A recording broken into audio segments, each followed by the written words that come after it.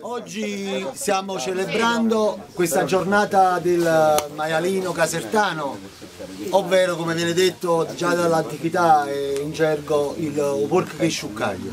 I sciuccagli sono questi peduncoli che c'è qua, oppure viene detto anche maialino con gli orecchini, ma in realtà sono questi che poi faremo vedere dal guanciale, ci stanno questi peduncoli così sporgenti e quindi sciuccaglio qua dicevano nella provincia di Caserta. Ma io Casertano due parole voglio spendere sulla storia.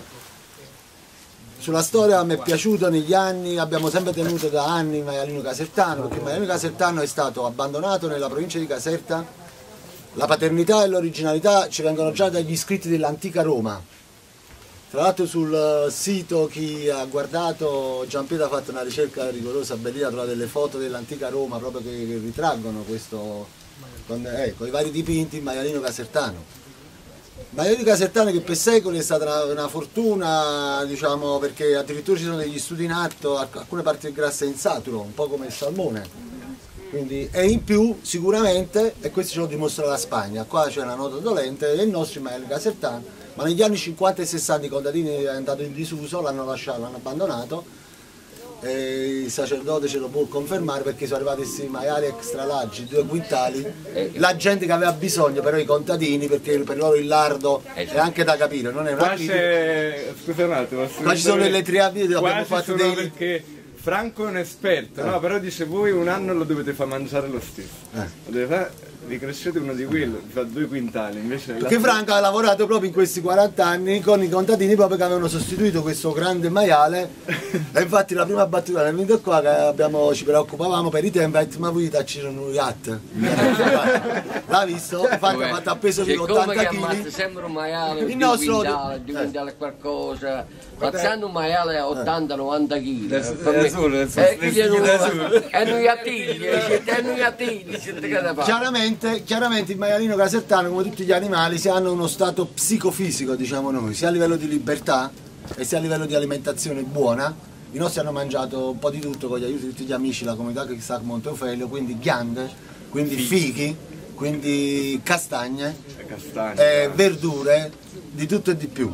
E quindi abbiamo uno spazio più largo, anche lì abbiamo delle critiche, noi cerchiamo anche di farlo scavare nella terra, ci sono i sali minerali, dovrebbe stare proprio allo stato brado, fatti in Spagna e qui alla Dolente fanno questi famosi pata negra, che anche l'allenatore Capello, là, quella che mostra in Inghilterra quando ha allenato, il Real Madrid, questo prosciutto a 200 euro al chilo, più famoso del mondo, però è stato scoperto, cioè, eh, nella ricerca storica sono i Borboni, che come ci hanno dato uno scambio, erano dominatori a Sud Italia, hanno fatto anche delle cose eccellenti, però hanno anche preso abbiamo preso in Miami Casertano, l'hanno portato a nord di Madrid.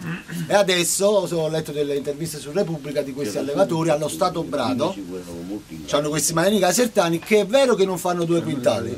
Ma fanno un quintale, modette napoletane, piccirilla e chine d'eduzione perché comunque sia il prosciutto e tutti diciamo i salumi per questo grasso particolare perché anche la particolarità del grasso proprio diciamo anatomicamente è maggiore rispetto alla carne. Ce l'ha nelle fibre. Ce l'ha anche nelle fibre, quello là, quello in saturo. Comunque dà un sapore e poi assaggerete le varie cose, ma altre cose proprio da assaggiare in Miami Casertane sarà tra 5 mesi con le pancette capocolli o la salsiccia come la stiamo facendo. Questo qui è proprio indicato per la trasformazione. Per la trasformazione dei salumi. Quindi la maggior parte andrà per fare salsicce, capicoli. Che stanno facendo. Che stanno Tra l'altro a questo nei secoli perché comunque c'è stata sempre tanta inventività, io sono del sud, amo il nostro sud con, con, i, con i suoi tanti problemi però qua fanno una lavorazione, in, per esempio in Basilicata mettono sott'olio la salsiccia, qua la fanno sotto sugna. Sotto sugna sta salsiccia... Oppure sottovuoto. Pure sottovuoto si può mettere cioè nel senso che noi abbiamo fatto sotto Sugna qualche volta che c'è stato un po' di più. Invece di un anno due anni è uscita questa salsiccia con la rugiada. È poesia.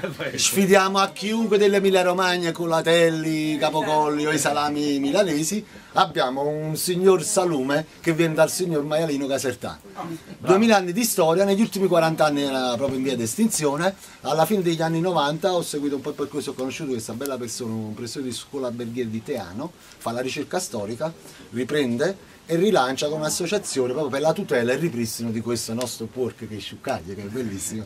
E quindi alcuni di noi lo stiamo riprendendo. Questo un po' lo facciamo col maialino e anche con altre cose, però rimanendo al maialino, oggi voi dopo i tre giorni, oggi si farà anche insieme un laboratorio di cicole, facciamo, scogliamo l'opera della suina insieme dopo mangiato.